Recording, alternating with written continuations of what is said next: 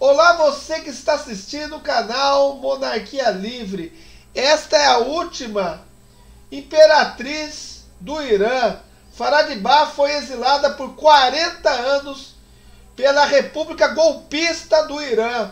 Assim como a família imperial brasileira também foi exilada por 40 anos pela República Golpista Brasileira. Infelizmente é assim.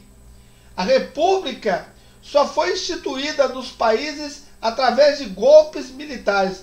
Ou matavam as famílias reinantes, ou exilavam, ou colocavam em prisão perpétua, por motivo nenhum. E geralmente todas as monarquias tinham mais de 60% de aprovação popular.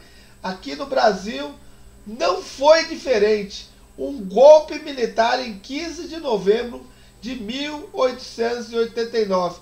E o G1 anunciou por meio do seu site que esta mulher, a nossa querida Faradibá, está lançando um livro. Parabéns a ela, o recomeço a sua vida que foi ceifada por 40 anos de exílio fora da sua pátria. E você, o que acha disso?